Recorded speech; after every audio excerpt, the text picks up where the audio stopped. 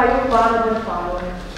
Nessun parcheggio né ora né in futuro. Il comune di Fano ha deciso nell'area dell'ex Agipa ad ottobre sorgerà un vivaio urbano con 300 piante in vaso. Nel perimetro invece una rete metallica e una grande scritta per una iniziativa unica nel nostro territorio. È stato definito innovativo e partecipato il progetto illustrato dal comune di Fano che aveva affidato l'incarico al centro di ricerca dell'Università di Ferrara ma seguendo alcune linee guida come quelle di tenere in considerazione la sostenibilità, la fruibilità ciclabile ciclabile pedonale, ma anche la connessione al centro storico e una porta d'ingresso da caratterizzare. Gli studenti così hanno lanciato l'idea del vivaio temporaneo che vedrà la luce nel prossimo autunno dopo la fideiussione e la bonifica. Ci rimarrà per 7-8 mesi evitando il degrado urbano e il parcheggio selvaggio e giusto il tempo di stabilire una volta per tutte il futuro di quell'area tanto discusso in questi anni. In ogni caso il comune non intende utilizzarla per la sosta dei veicoli, al contrario vuole perseguire le politiche ambientali ambientali puntando sul verde. Questa amministrazione aveva mm, la necessità di trovare delle soluzioni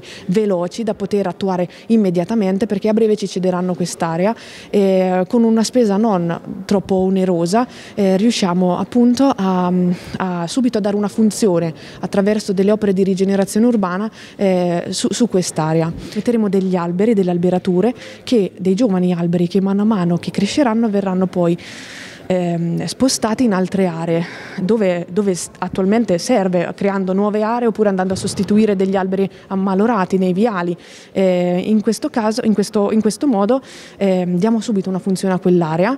eh, rigeneriamo diciamo, eh, anche lo spazio circostante e, e prendiamo un po' di tempo per poter contemporaneamente a questo tempo che il vivaio crescerà in quest'area daremo un incarico per poter fare la progettazione eh, definitiva dell'area area strutturale. Ci sarà anche un percorso partecipato con la cittadinanza, assicura l'assessore, e poi entro il 2022 inizieranno i lavori per il progetto definitivo. Il vivaio invece non sarà fruibile al pubblico, ma si pensa alla possibilità di accesso per determinate occasioni o per motivi didattici mediante la partecipazione delle scuole. Inoltre partirà un altro incarico per stabilire dettagli sull'idea lanciata dall'università, compresa la gestione e la manutenzione del verde che poi in futuro passerà ad Aset SPA di fatto produce un, anche un messaggio positivo, un messaggio con una ricaduta positiva sia proprio sulla salute delle persone ma anche di partecipazione e di socialità perché inevitabilmente si aprirà un dibattito sulla città. Ed è un dibattito che è perfettamente in linea con tutto quello che è la nostra politica ambientale